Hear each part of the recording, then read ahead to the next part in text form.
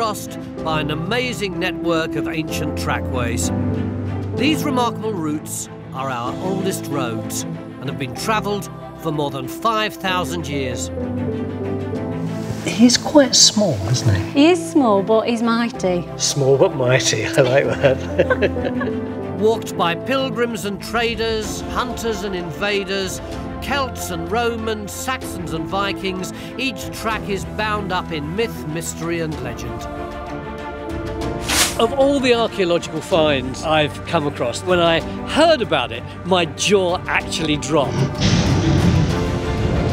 I'm on a quest to connect the clues and rediscover the stories hidden among Britain's ancient pathways. I want to find out what it is that tempts today's travellers to go back in time and rediscover these mystic tracks. Do you reckon that's the North Star? Not the brightest star in the sky, but it's probably one of the most useful. Sprint like me. smell a leather, you can still smell it. 1900 year old leather. Isn't that absolutely amazing? This week, I've come to Dartmoor in Devon to walk the ancient routes that connect Christianity and paganism through centuries old stories of sacred sites, extraordinary stones, and literature's most notorious hound. These are the paths our ancestors once followed, the ancient tracks that we in Britain can still walk today.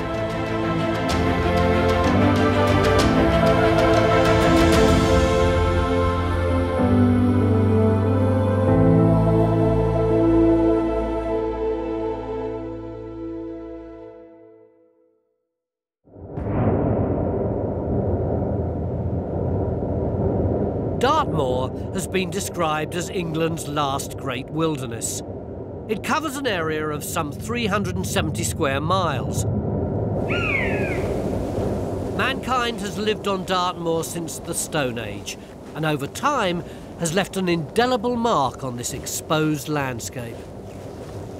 I've been to Dartmoor loads of times, and whenever I come, I hear some new, weird, and wonderful story about the place that really raises the hairs on the back of my neck. But I've never walked across the whole moor. I don't really know how the whole thing fits together. I do know that this is going to be a journey through time. I'm going to hear lots of tales from different periods. And I've brought my own timepiece with me as my companion, although exactly why you won't know till the end of the programme. Across Dartmoor is a network of ancient trackways, shrouded in history and mystery. I'll be following a procession of medieval stone crosses along the Abbots Way, before heading in search of consecrated ground along the Old Lich Way, or Way of the Dead. Along my journey, I'll retrace the footsteps of Britain's greatest detective, plunge the depths of a bottomless lake, and come face to face with a fantastical array of four legged beasts.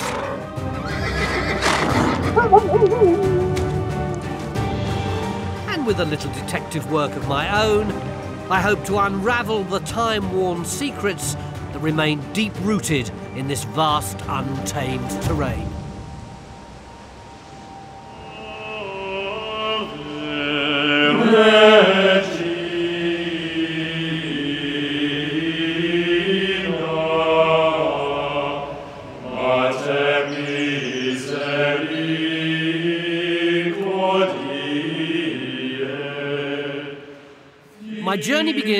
At Buckfast Abbey on the edge of Dartmoor.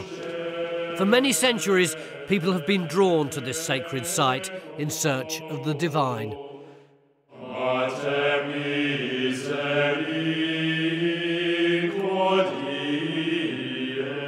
Buckfast Abbey was mentioned in the 11th century Domesday Book, and in 2018 will be 1,000 years old.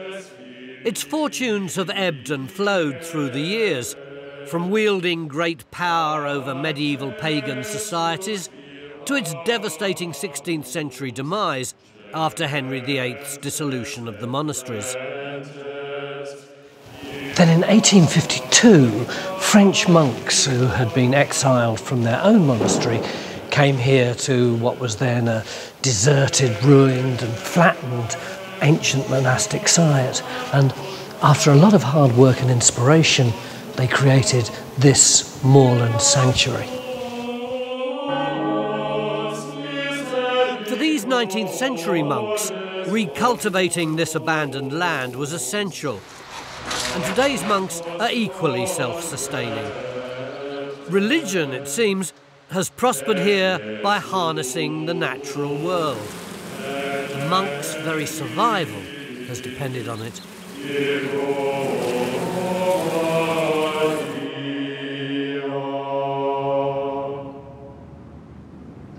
Spiritually replenished, the abbot has offered to show me the first of the crosses that will guide me across the wilderness ahead.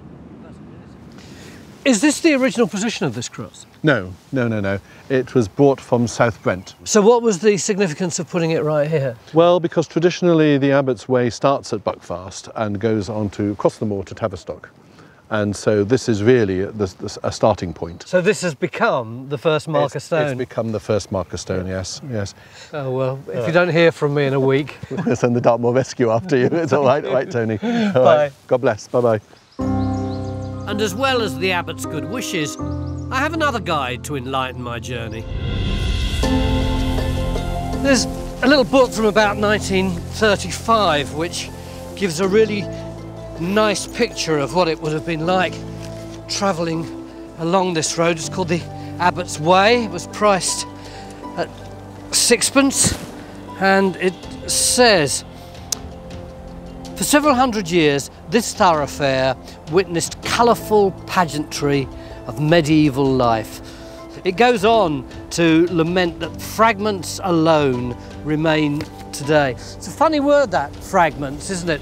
But it's true. Nowadays, all you get are these tiny little hints of what life would have been like here. And it's up to us to use our detective work to pull them back together.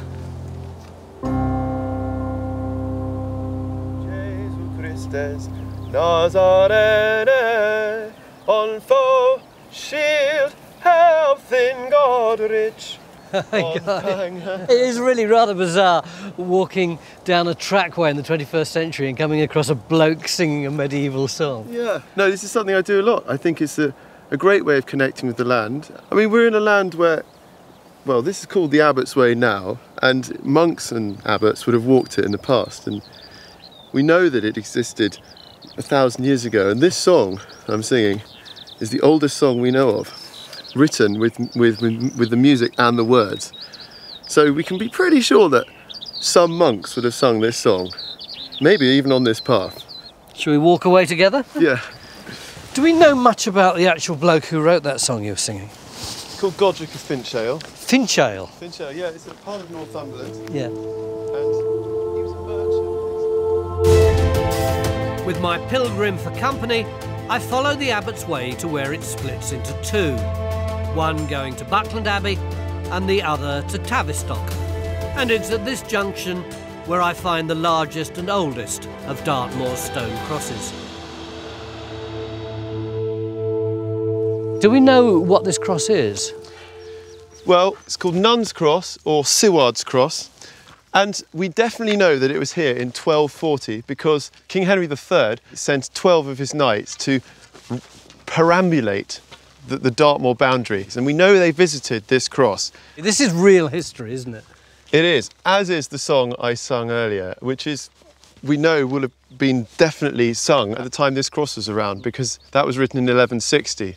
Just before this, we have record of this cross. So it's a great joy to be able to sing it here and connect the two. Yeah, you serenade it and I'll uh, Thanks, head Tony. off up the hill. Lovely to meet you. And Thank you. you. Bye. Sainte Maria, Virgine, Mode Jesu Christus, Nazarene. My singing pilgrim makes me think of the first of Dartmoor's many cautionary folk tales.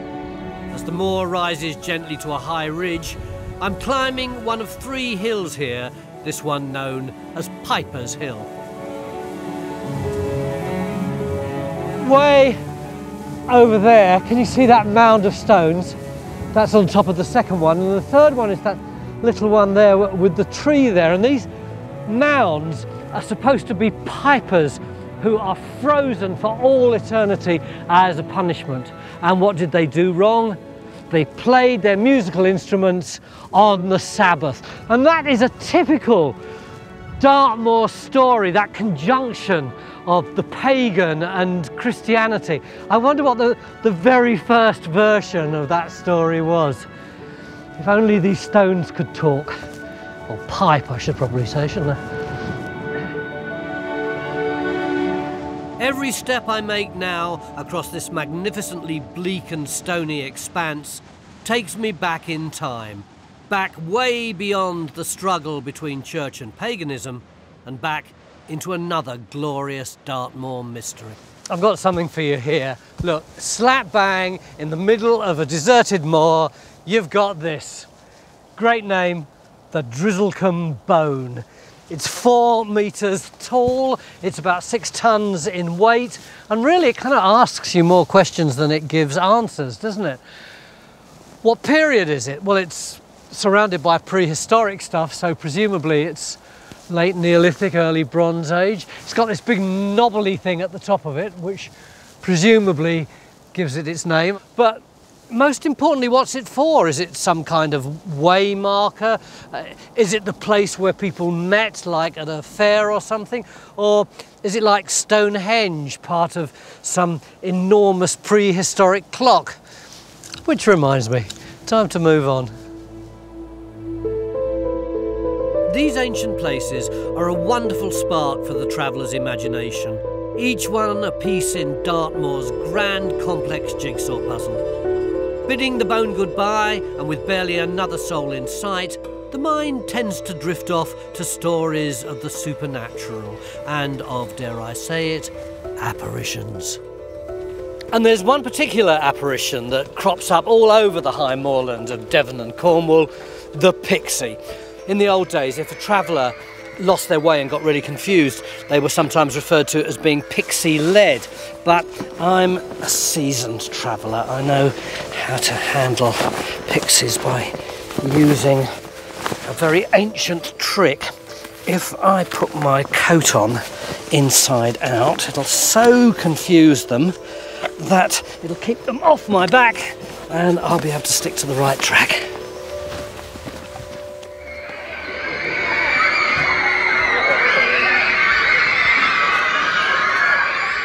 Every year, the nearby town of Ottery St Mary is invaded by hordes of local children dressed as impish elves to mark Pixie Day.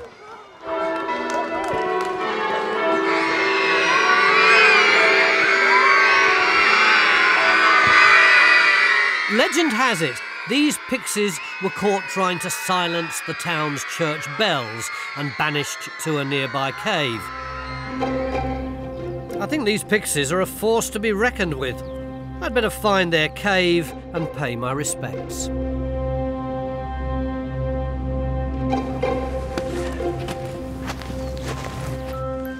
Oh, yeah, there it is. Look, you see, in there.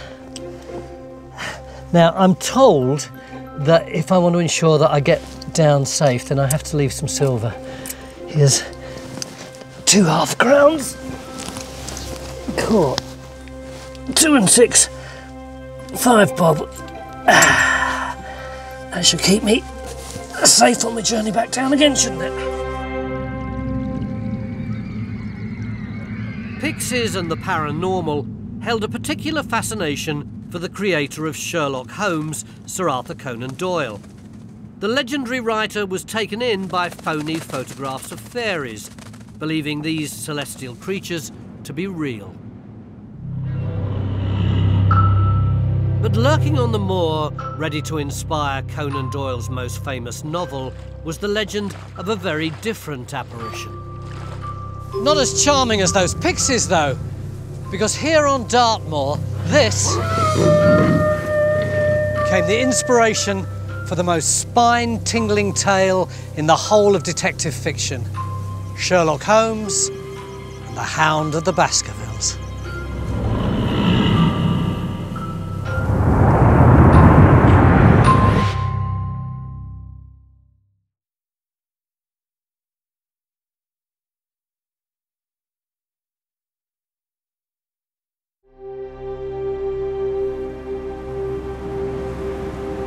The ancient abbot's way across Dartmoor is a landscape steeped in centuries old myths and legends, and a location that inspired one of our most iconic literary masterpieces. The Hound of the Baskervilles, Sir Arthur Conan Doyle's love letter to Dartmoor and all its mysteries.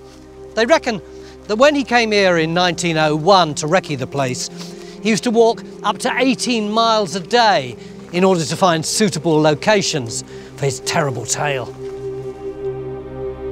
The plot of this complex murder mystery attributes the sudden death of the wealthy Sir Charles Baskerville to a family curse involving a supernatural hound.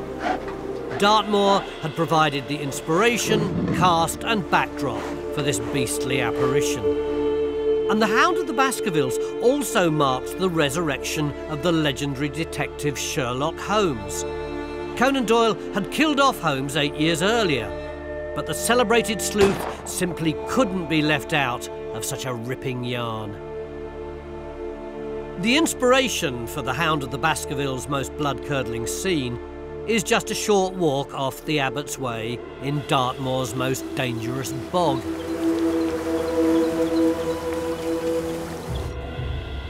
Sherlock Holmes himself said that Dartmoor would be the perfect setting if the devil ever did really want to get his hands on the affairs of men. And there's this wonderful bit at the end of the book where the arch villain, John Stapleton, is actually killed by the, the bog in the centre of Dartmoor. It says, somewhere in the heart of the great Grimpen Mire, that's actually here, down in the foul slime of the huge morass which had sucked him in, this cold and cruel hearted man is forever buried right down there. Oh.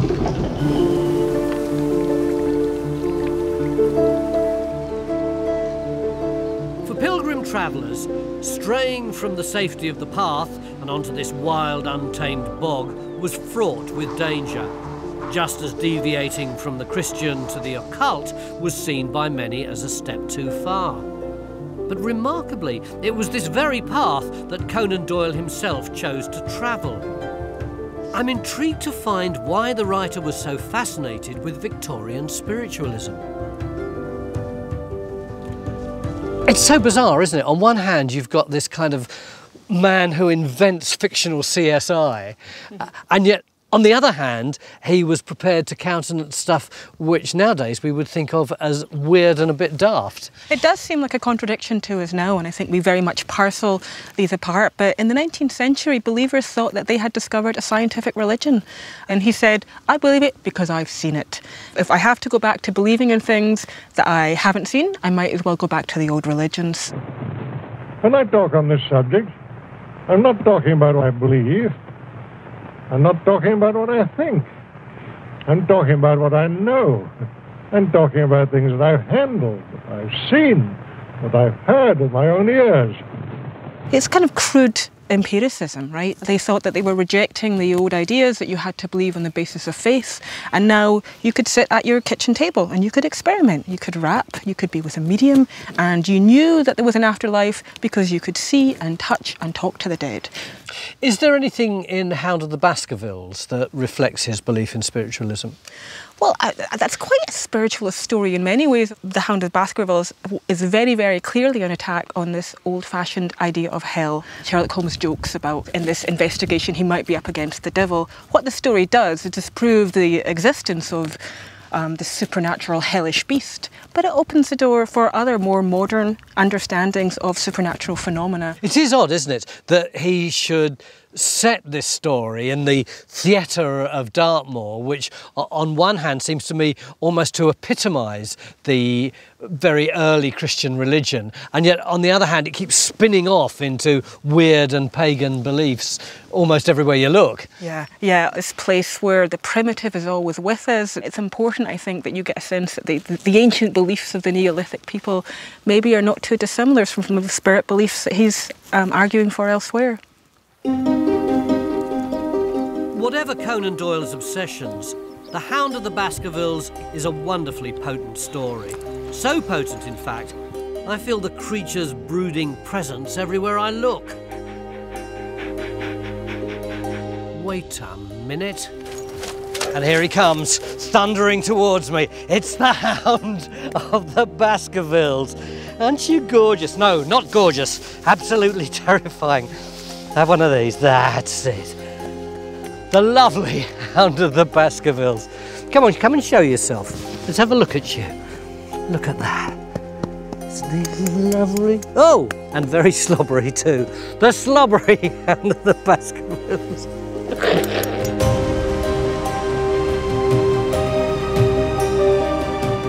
I promised you four-legged creatures on my wander through this formidable terrain. But none say Dartmoor more than these iconic ponies. Running untethered across the moors, I truly feel I'm intruding on their turf, a visitor on their land.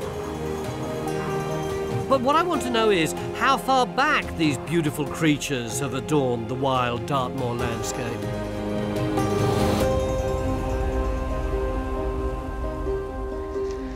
Well, not all the animals on Dartmoor are quite as threatening as the hound of the Baskervilles, are they? Well, um, not all, except George when he's hungry. um, these are Dartmoor ponies, and they're renowned for their fantastic temperament, being children's riding ponies. But um, of course, they have a, a long history connected to Dartmoor. I suppose in the old days they would have been working horses, wouldn't they? Yeah, I mean, if you go right the way back through history, they were used in tin mining.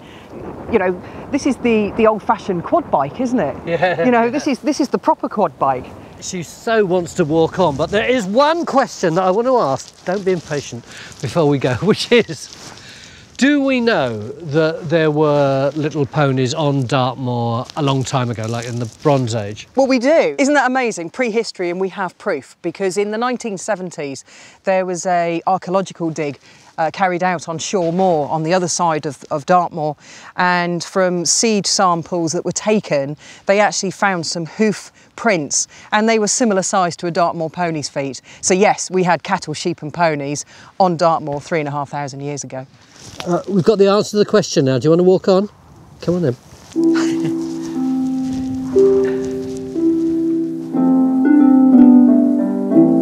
Back on the Abbot's Way to Sheepstor Church, and I'm keeping my ears peeled for a group of bell ringers who can help me figure out the baffling tale of nearby Crazy Well Pool. You see, Dartmoor has no natural lakes, so I think getting to the bottom of this aquatic conundrum might not be as easy as it seems.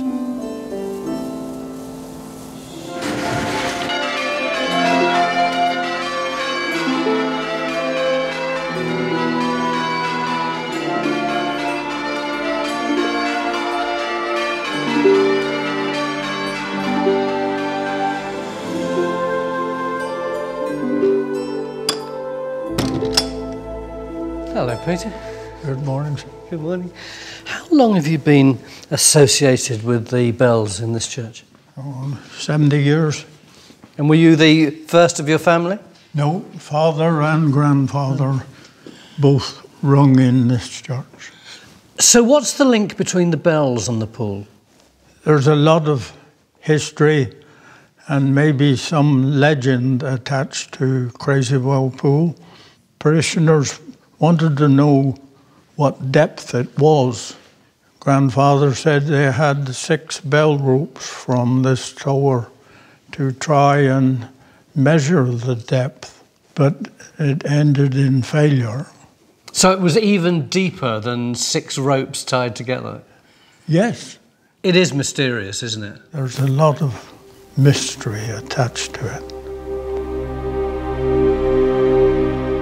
Site of this bottomless dark water lagoon is marked by its namesake, Crazywell Cross.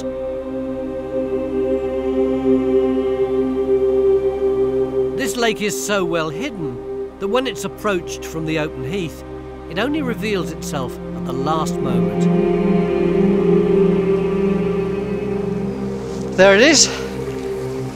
Imagine a long bell rope dropping into that at 100 feet, 200 feet, 300 feet. They still haven't got to the bottom. 360. They've run out of rope and still it goes down and down, infinitely deep.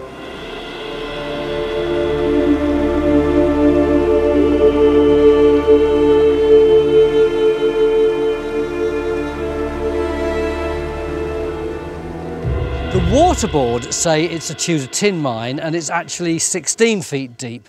The locals say that's rubbish, the waterboard never measured it, or if they did, they didn't do their job properly. But what it proves, indisputably, is that in a landscape like this, you can believe anything you like, even things which aren't possible, at least not in the material world.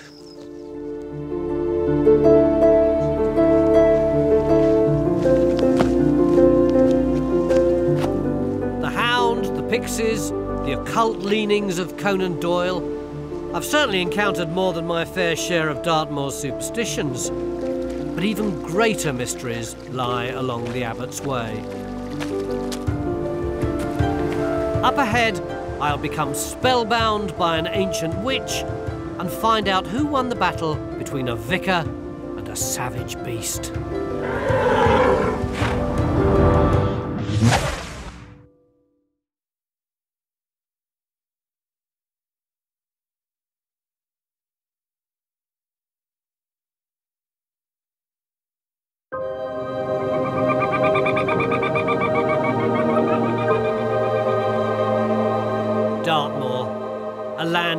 Sweeping views and enduring legends. And as I follow the primitive tracks across this epic landscape, I'm continually drawn back in time by exhilarating vistas that fuel the imagination. Then suddenly, appearing like a mirage, I'm halted by the sight of something actually very real. Somewhere where serving time comes with the territory. Surrounded by unrelenting wilderness, you could call it Britain's Alcatraz. And I, for one, am more than happy to keep my distance.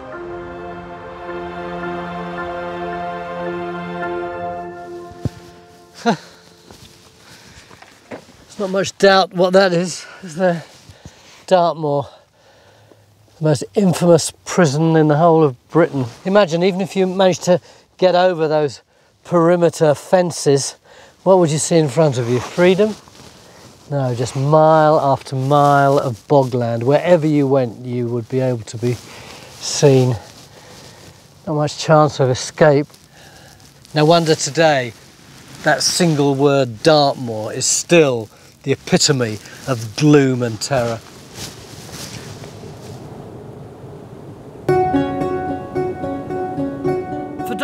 Prisoners, time must have moved very slowly. But not for me, as the constant tick tick ticking tells me it's time I travelled on. Or travelled back, I should say. Back in time beyond recorded history. Back thousands of years, in fact. This is Merivale, one of Dartmoor's most significant Bronze Age settlements.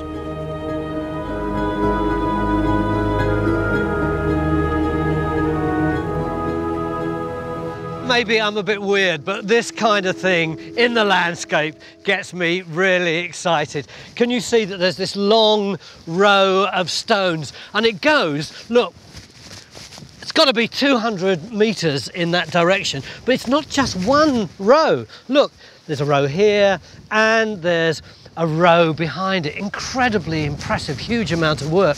And if that wasn't enough, look, you've got exactly the same here, the twin rows of stones, absolutely parallel to the first row. And thirdly, we've got some bloke who appears to be committing what looks like the worst archaeological crime imaginable. Is that a sander? It's not a sander, it's a scanner. A scanner? Yeah, what it's looking for is a micro, uh, microchip with hidden on this stone. Oh, thank goodness. Yeah, yeah. I thought there might be sandpaper on it. I couldn't think of the word for the machine. Polishing it up. Yeah. Uh, no, unfortunately, these stones are under threat from a lot, of our granted artefacts, especially ones in accessible locations, from theft. So to try and combat that, uh, we put microchips within the stones. So if they do get stolen, we'll be able to hopefully track them down. So you put in a little chip like you would in case you got dog got Exactly the same technology. It's the same type of microchip. That is ridiculous. Why would people nick these? They're thousands of years old. They're irreplaceable. It's just so brutally stupid, yeah, isn't it? yeah. Well, What do you think they originally were? Uh, I think these monuments are very complex. They're associated with the landscape views, their setting in the landscape as well, and the burial mounds just behind us. We've got a stone circle and other cairns in this area. I think we've got to kind of approach them like a, a medieval church. It could have been a processional way up to venerate the ancestors in the cairn, or it could have been venerating the landscape. It could have been a territorial marker. So many different uses probably occurred at these monuments. So, in an odd way, not that far removed from all the Christian crosses that I've seen Hmm. throughout here. I'm not going to say anything else. I just think this place is so wonderful. I'm just going to wander around, have a look at it. Okay, nice, to meet you. Cheers. Whatever the reasons behind these stone rows, archaeologists believe a prehistoric community thrived in Merivale in what would have been a much warmer climate. It's difficult to imagine now, but this moorland was once abundant with luscious forests and animal prey.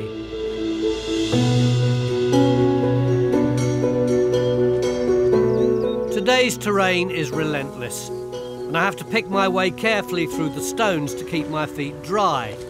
Almost. Dartmoor's endless capacity to surprise, though, is about to offer up another arresting spectacle.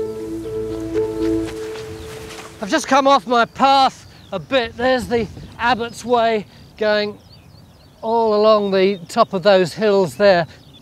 And suddenly it's boggy morass and I'm soaking wet, almost up to my knees now. But the reason that I came here was I can't go any further than this, but I wanted to show you that. That little tor thing is called the Sphinx. And just like its statuesque namesake, this remarkable rocky formation attracted Victorian travellers, keen to see, and as this Victorian picture shows, photograph the Sphinx for themselves. But Liz, you don't call it the Sphinx, do you? I certainly don't. No, that's known as Vixen Tor. I think the Sphinx is a relatively modern name. It's been known as Vixen Tor for hundreds, hundreds, thousands of years. Who was the vixen? Well, the Vixen, that is the notorious witch of Vixen Tor, Called Vixana. Vixana. Vixana the witch. What did she do? She had a liking for travellers who were walking across the path that you were, you were on, on the Abbots Way. What, you mean the bog I've just been through? Yep, that one, the very same. Hmm. So she had a method of, of conjuring up a mist and luring unwary travellers into her bog. When she caught sight of them, she would clap her hands and cackle with delight and pull down the mist.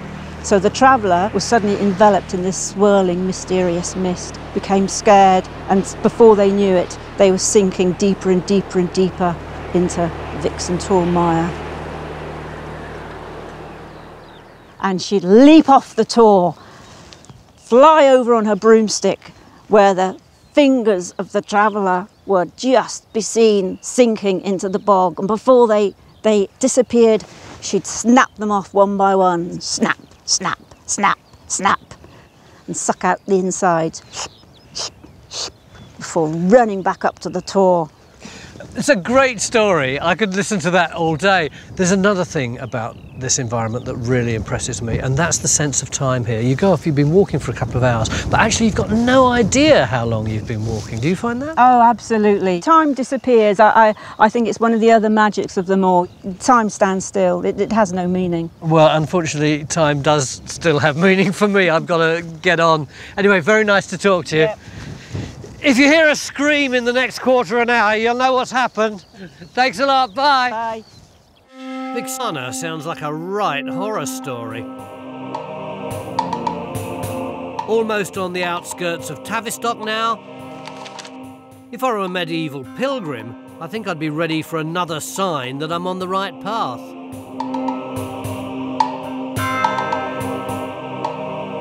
Standing steadfast among the golfers, the seven foot high Pixie's cross may well provide spiritual guidance for players praying for a good shot. It certainly is a miracle that the cross has withstood the march of time to stay on course.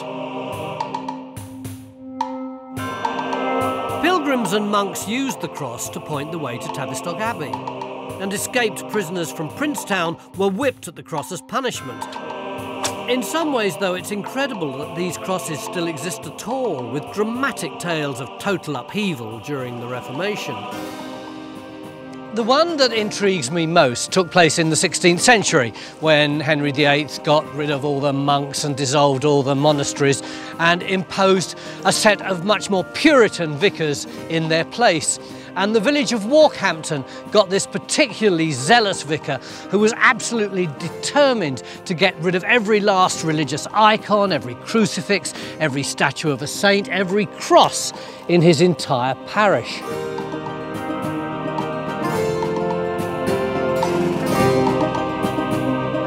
When he found out about the Pyx's cross, he instructed his parishioners to destroy the offending granite emblem.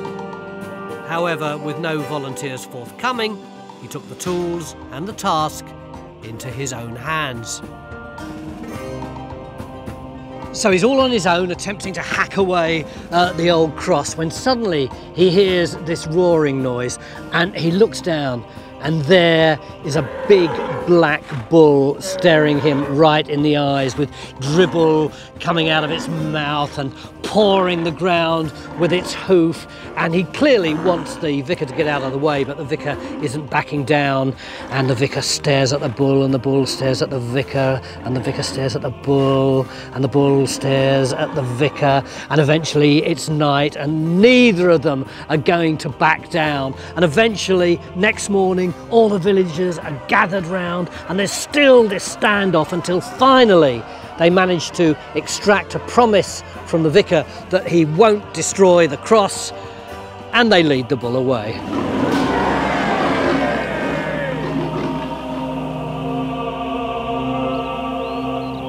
While the story of the bull and the parson may be just another of Dartmoor's many legends, it does hint at a deeper meaning. Something about nature versus religious obsession. Though in this case, it was bullish persistence that ultimately saved this ancient cross.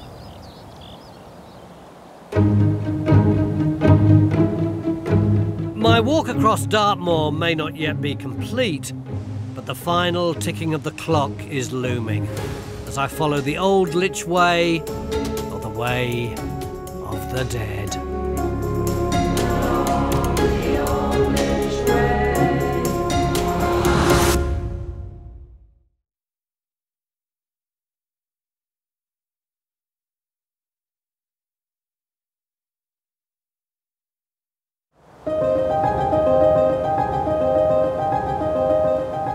Having laid the abbot's way to rest, I'm now in the wake of the dead on the altogether more macabre Old Lich Way.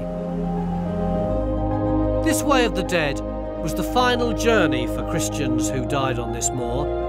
Their religion meant that no matter where they passed away, their body had to be laid to rest in consecrated or sacred ground.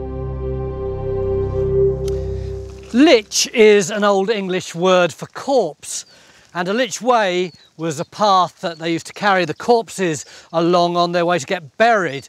Uh, lich gate was the little gate in the side of a church that the corpse came through, and a lich owl was another word for a screech owl because people used to think that the noise it made was an omen of death.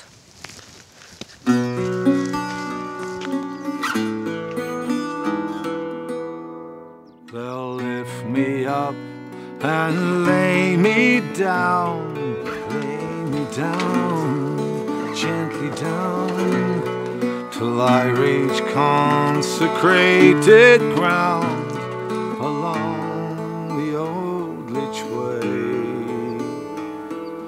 En route, I encounter folk singer Steve Knightley, who weaves this path's rather mournful undertaking into beautifully evocative verse. Till six feet. A song called The Old Lich Way, which sounds great when you sing it in a church or a cathedral. And uh, but it's, it's sort of like Old English, and there's a piece of almost Latin plain song in it. Yeah. And, uh, it mentions the places along the route where people would stop just to rest. You can imagine carrying a corpse 12 miles is a pretty exhausting task. But it isn't actually an ancient song. No, it's not an ancient song, but it's very much in that style. You know, it's very much in that sort of timeless uh, folk style, if you like. You know, this area really confuses me because, on one hand, you know, looking out here, it's just burgeoning with life, isn't it? All the flowers coming out, the, the leaves looking so intensely green. And yet, this is actually a way of death. You imagine what it's like in midwinter here when you're carrying your nearest and dearest 12 miles. Lydford is that way to the to the west. It would have been the most extraordinary, I mean, a, I mean, a tragic way of, uh, of of taking your loved ones to be buried. So, Lydford uphill. Is that where you're heading? Yeah. Uphill all the way. see you. But all uphill. Good luck. Cheers, I'll see you. They'll lift me up and lay me down, lay me down, gently down, till I reach consecrated ground along the old lich way.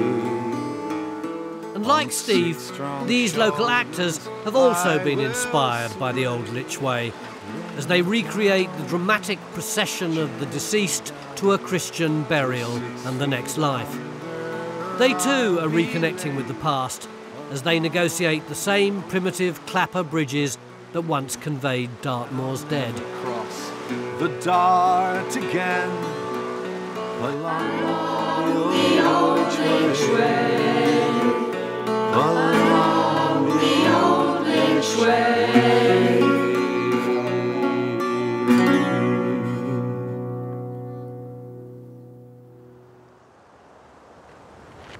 It's compelling to think of the ebb and flow of generations of human settlement in a place so enduring as Dartmoor.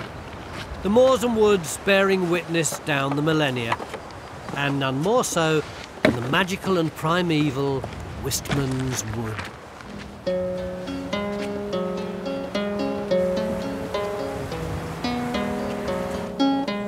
The name Dart, as in Dartmoor, is said to derive from Derwent, the ancient name for oak trees. It's here I have my first meeting with a member of the Order of Bards, Ovates, and Druids, and by the sound of it, a man in perfect harmony with nature. Andy, that music is so appropriate for this wood, isn't it? Yeah, it's perfect, isn't it? Um, just the kind of soundtrack to a, a landscape like this. And this is what Dartmoor would have looked like before it was a moor. Absolutely. This is one of the um, the last remaining pockets of ancient woodland on Dartmoor. Um, and yeah, once the whole of Dartmoor would have been forest like this. So really, when we look out over the wild expanse of Dartmoor, we're looking at um, uh, the ruins of, uh, of an ancient wildwood. Are there any particular stories or folk tales that tie in this area with Druids or Druidism?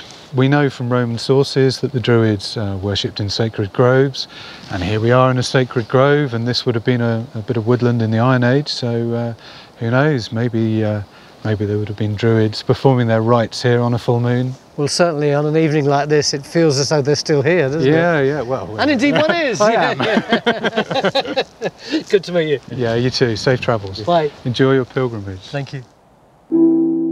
Time is almost at an end as my path along the Old Lich Way reaches the Church of St Petroc's.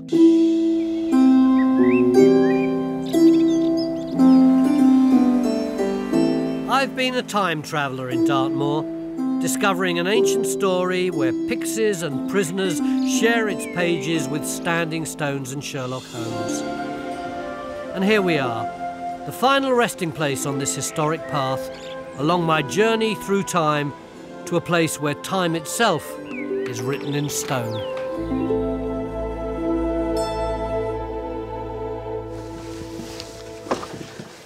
I've come into this church, which is pretty beautiful anyway, isn't it?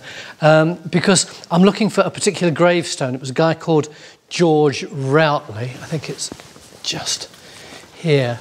He died around about the beginning of the 19th century, and I don't think you'll be very surprised to hear from his epitaph that he was a watchmaker.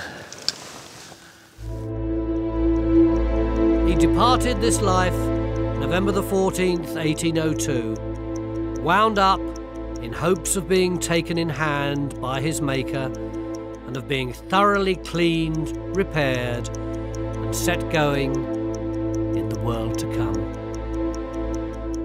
What a creative way to end your days from someone whose craft marked the very essence of life. And on that timely note, my pilgrimage has come to an end. Well, I've finally achieved my ambition. I've walked all the way across Dartmoor. And I think it's quite appropriate that I should have finished talking about a watchmaker because, in many ways, Dartmoor is frozen in time, isn't it? With little flashbacks in stone and in words. We've had literary stories, old wives' tales, tales in song, tales about the moor itself. It is an extraordinary landscape. And personally, what I like most about it is the fact that even in the second decade of the 21st century, it's still pretty much untamed.